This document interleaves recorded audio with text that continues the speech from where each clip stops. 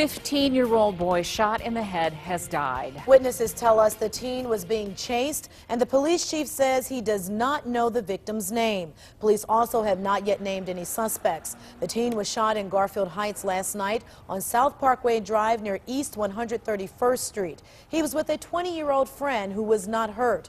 We're working on this breaking story nonstop in our newsroom. You'll hear from neighbors about the moments when the shots rang out tonight at 6. But in the meantime, get instant updates on this breaking story on our website, newsnet5.com.